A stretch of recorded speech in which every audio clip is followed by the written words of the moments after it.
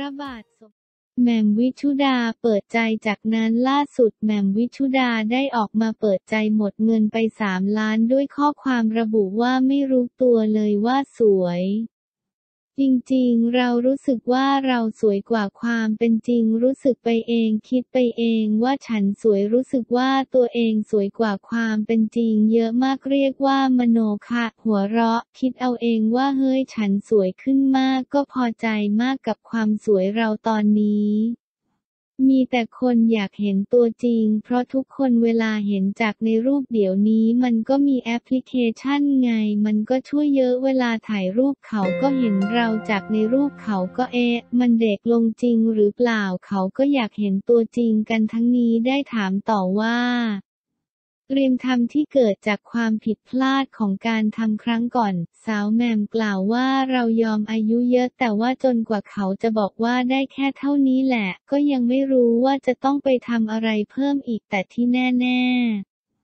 เราจะต้องไปแก้ตาที่เกิดจากการผิดพลาดที่เคยทำมาก่อนตามันปุยปุยคือพอแสงลงมันจะเห็นชัดแล้วเราจะแบบเวลาถ่ายรูปทีจะต้องบอกคนอื่นว่าเอากล้องเราได้ไหมเดี๋ยวขอเช็ครูปหน่อยไม่ใช่นะคนเขาคาดหวังว่าเราไปทำมาแล้วมัด นะต้องเพอร์เฟกสวยเป๊ะแต่ที่เราทำมันก็ไม่ได้จากที่คนคาดหวังหรอกนะด้วยใต้ตาเราลึกมีหมอแนะนำให้ฉีดไขมันตัวเองเข้าใต้ตาแล้วมันเกิดข้อผิดพลาดแทนที่มันจะเต็มมันดันปูดแล้วปูดสองข้างไม่เท่ากัน ใต้ตาหนักเลยเวลาเข้ากล้องนี่หนักเลย เพราะมันนูน แล้วไม่ใช่ว่ามันจะแก้ได้เลย มันต้องทิ้งช่วงไม่อย่างนั้นตามันจะแปลกๆแต่ระหว่างรอก็ดึงหน้ามันซะเลย หัวเราะ เรามัวแต่ไปสนใจใต้ตา แต่หมอบอกว่าหน้าก็คล้อยแล้วนะคือเราหงุดหงิดที่หมอยังทำใต้ตาให้เราไม่ได้เขาก็ปลอบใจเราด้วยการดึงหน้าให้เราก่อนไง จริง ๆ มันก็ทำได้แล้วนะ เสียก่อนอย่างไรก็ตามสาวแหม่มกล่าวว่าหลายล้านไปทีก็เป็นล้าน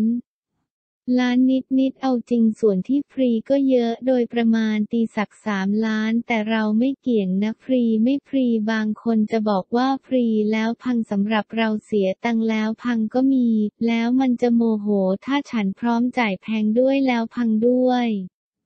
ถ้าได้ฟรีจะรู้สึกดีกว่านี้แต่นี่มาจ่าย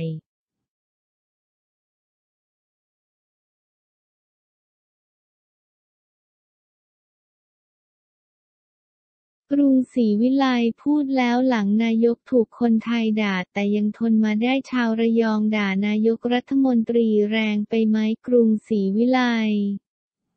ท่านโดนมากกว่านี้อีกครับที่ผมอยู่ในสภาผู้แทนราษฎรไม่ว่าจะเป็นเด็กนักการเมืองรุ่นใหม่ท่านก็โดนทุกอย่าง ถ้าผมเป็นพลเอกประยุทธ์จันโอชายังไม่รู้เลยว่าจะทนได้ไหมแต่กล้าพูดได้เลยว่าทนไม่ได้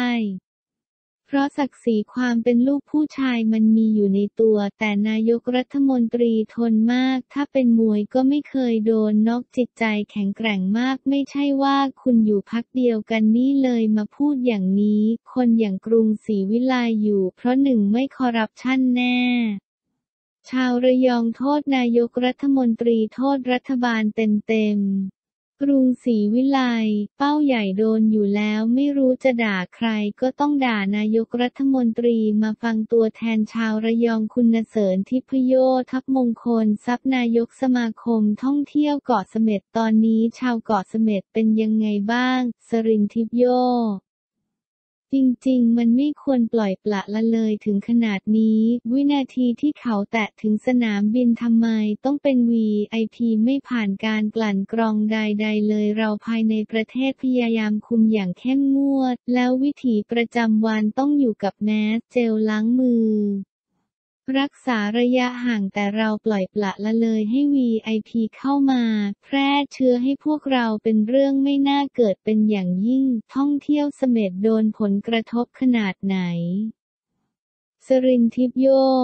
จริงๆ เสม็ดอยู่ห่างตัวเมือง 30 กิโลไม่ได้เกี่ยวกับพื้นที่ที่เกิดเหตุการณ์ขึ้น นักท่องเที่ยวสามารถไปได้ แต่อย่างว่าพอนักท่องเที่ยวรับทราบข้อมูลว่าจังหวัดระยองปุ๊บก็เหมารวมไปทั้งหมด ก็เลยไม่กล้าข้ามไปเที่ยวเกาะเสม็ดโดนยกเลิกที่พักไปเยอะไหม สรินทิพโย เยอะนะคะตอนนี้มีคำสั่งแต่ละจังหวัดด้วยว่าใครมาเสม็ดหรือระยองกลับไปต้องกักตัวมันก็เลยทำให้นักท่องเที่ยวกลัวเพิ่มขึ้นไปอีก มันก็ทำร้ายการท่องเที่ยวของเราพอสมควรนะคะ ตอนนี้คนระยองกลายเป็นจำเลยไปแล้ว สื่อโซเชียลเป็นอะไรที่เร็วมากมีทั้งเฟกนิวข่าวที่เป็นข้อเท็จจริงบ้างไม่จริงบ้าง อยากให้ทุกท่านดูสื่อตามความเป็นจริง ใครสงสัยให้ถามมาที่สมาคมได้คุณจะได้ข้อมูลที่ถูกต้องอย่าไปเสพสื่อมากนักทุก คนก็มีความกลัวคนไม่เข้าใจก็จะคิดว่าจะไปที่สุ่มเสี่ยงเพื่ออะไร เขาก็แคนเซิลไปเลยยืนยันได้เลยว่าปลอดภัย 100%ตอนนี้ถ้าไม่มีการจองล่วงหน้าไม่ได้เข้าเกาะนะคะ ต้องมีใบยืนยันการจอง Walk in ไม่ได้ใครที่คิดว่าจะสุ่มๆมาเหมือนสมัยก่อนไม่ได้นะคะ ทุกวันนี้ทุกรีสอร์ทต้องรายงานว่ามีนักท่องเที่ยวเข้าพักกี่คน อยู่ในสายกับสาธิตปิตุเตชะรัฐมนตรีช่วยว่าการกระทรวงสาธารณสุขไประยองกับนายกรัฐมนตรี ไปดูอะไรมาบ้าง สาธิต จุดแรกไปโรงแรมนายกรัฐมนตรีก็ไปพูดคุยเรื่องปัญหาว่าเกิดขึ้นได้ยังไงผู้ว่าราชการจังหวัดก็บรีฟให้ฟังว่าขั้นตอนแต่ละส่วนต้องทำยังไง จากนั้นไปห้างแหลมทองแล้วไปเดินจุดที่ทหารอียิปต์เดินอยู่ชั้นสอง นักข่าวหลายร้อยชีวิตก็เดินอยู่ เสร็จแล้วก็ไปตลาด เพราะนายกรัฐมนตรีอยากดูว่าการค้าที่เริ่มฟื้น แต่มาซบเซาไปฟังเสียงพี่น้องประชาชนว่าเขาลำบากใจกำลังขายของได้อยู่ดีๆ ก็เกิดปัญหาที่ตื่นตระหนก และผมก็เรียนนายกรัฐมนตรีว่ามีข่าวออกมาจากกระทรวงมหาดไทย ว่าถ้าเดินทางมาระยองต้องกลับไปกักตัวก็คุยกับปลัดกระทรวงมหาดไทย ท่านบอกว่าท่านไม่ได้พูดอย่างนั้น ไม่ได้เป็นพื้นที่ความเสี่ยงสูงก็ขอชี้แจงตรงนี้ว่าไม่ต้องไปกักตัว นี่เป็นส่วนหนึ่งของการลงพื้นที่ พี่น้องระยองเจอนายกรัฐมนตรีมีท่าทียังไง สาธิต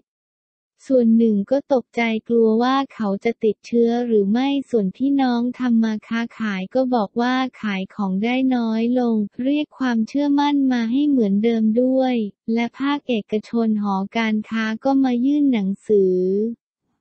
นายกอุตสาหกรรมท่องเที่ยวระยองก็มายื่นหนังสือป้ายที่ออกตามสื่อด่าว่ารัฐบาลรุนแรง สาธิต เห็นก่อนไปถึงเป็นเด็กวัยรุ่นสองคนผมรู้จักดีครั้งหนึ่งเคยเป็นนักกิจกรรมของพรรคการเมืองพรรคหนึ่ง เป็นนายกรัฐมนตรีสภาเยาวชนเด็กที่จอพระยองมีปัญหาต้องลาออกไปคือความคิดแตกต่างก็เป็นสิทธิ์อยู่แล้ว แต่การใช้ถ้อยคำที่ไม่สุภาพไม่ได้ทำให้สถานการณ์ดีขึ้นก็ต้องเตือนน้องๆ ผมไปเตือน เพราะคนบ้านเดียวกันก็บอกว่าการมีพฤติกรรมที่ไม่สุภาพไม่ให้เกียรติผู้ใหญ่เราก็บอกเขาว่าวิธีการแสดงออกอาจดีกว่านี้ ไม่ต้องพูดคำหยาบกลายเป็นว่าอันไหนพูดแรงพูดมันสังคมก็บริโภคสิ่งเหล่านั้นไปด้วย ตรงนี้เราก็ต้องช่วยกันชาวระยองที่ได้ตรวจโควิดตรวจไปกี่คนแล้ว สาธิตตรวจไปทั้งหมด 1,900 กว่าคนครับเกือบ 600 คนยังไม่มีโพซิทีฟแม่บ้านเจ้าหน้าที่โรงแรมที่ใกล้ชิดทหารอียิปต์ตอนนี้ไม่มีพบว่าใครติดโควิดสาธิต ลบหมดครับตอนนี้ก็กักตัวอยู่ครับ ส่วนคนไปห้างก็มีมาตรวจแล้ว แต่ยังไม่ครบยังไม่มีใครเป็นบวกอย่าตื่นตระหนกอย่าประมาท ผมให้ข้อคิดว่าเราเป็นศูนย์ในประเทศไทยก็จริง แต่นอกประเทศเรามีผู้ติดเชื้อมากขึ้นเรื่อยๆ โรคนี้มาได้จากคนที่เดินทางเราก็ป้องกันไว้ถือว่าในประเทศเรามีความปลอดภัยระดับหนึ่ง หมอธีรวัตรบอกว่าเชื้อจะติดอยู่ในห้างหรือสถานที่ต่างๆ ที่ทหารอียิปต์เดินผ่านถึง 9 วันนี้ยังไงสาธิตเราเรียนรู้โควิดมาด้วยกันตั้งแต่มกราคม ความเห็นในเชิงวิชาการมีหลากหลายมาก เราก็เรียนรู้มาแน่นอน เชื้อจะอยู่กับพื้นผิวสัมผัสอยู่ได้นานเท่าไหร่ขึ้นอยู่กับปัจจัยแวดล้อมด้วย อยู่ในที่ร่มอากาศเป็นยังไงอยู่ในอากาศเย็นก็อยู่ได้นานหน่อยหรือมีใครเอาผ้ามาเช็ดทำความสะอาดก็จะตายไปขึ้นอยู่กับหลายๆ ปัจจัยไม่ได้มีทฤษฎีตายตัวตอนนี้มีการฉีดพ่นน้ำยายังไงบ้าง สาธิตเขาทำความสะอาดไปแล้วตอนนี้ห้างยังไม่เปิดยังปิดอยู่ตอนนี้ถ้าคนจะไประยองปลอดภัยไหมสาธิตเมื่อกลุ่มเสี่ยงที่ใกล้ชิดผู้ติดเชื้อที่เราตรวจทำลาย กล้องวงจรปิดมาเจ้าหน้าที่ดูกล้องวงจรปิดจนตาแฉะหลายชั่วโมง ผมมั่นใจอย่างมากถ้าผลการตรวจของกลุ่มเสี่ยงของผู้ที่อยู่ใกล้ชิดถ้าครบสิบ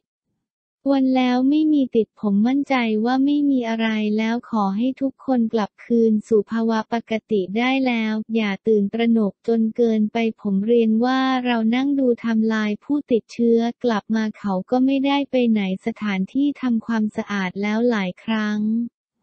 เราไม่ได้เพิ่งเจอโควิดวันนี้นะครับ เราเจอมาตั้งแต่มกราคม เราเรียนรู้ ไม่ได้ไปไหนสถานที่ทำความสะอาดแล้วหลายครั้ง เราไม่ได้เพิ่งเจอโควิดวันนี้นะครับ เราเจอมาตั้งแต่มกราคมเราเรียนรู้เรามีประสบการณ์ประมาณวันที่ 24 ถ้ากลุ่มเสี่ยงสูงไม่ติดผมว่าสบายใจได้ร้อยเปอร์เซนต์เสม็ดไปได้ไหม สาธิต จะไปเมื่อไหร่ผมจะจองให้ครับใครจะไปผมจะจองให้เลยมั่นใจครับ อยากพูดอะไรกับพี่น้องประชาชนที่เขาโทษรัฐบาลกรุงศรีวิไล ยกมือพนมเลยให้กราบเท้าพี่น้องทั้งประเทศเลย อย่าไปโทษนายกรัฐมนตรีเลยเพราะทุกคนไม่อยากให้เกิดเรื่องอย่างนี้ขึ้นอยู่แล้ว โดยเฉพาะตัวท่านเองเวลาบริหารบ้านเมืองก็แทบจะไม่มีอยู่แล้ว ท่านก็คงไม่อยากให้เกิดหรอกนายกรัฐมนตรีสงสารพี่น้องทุกคนถ้าอยู่ใกล้ชิดจะรู้จริง ๆ ว่าจิตใจท่านดีมาก ๆ เลยคลิปขอบคุณถามสุดซอย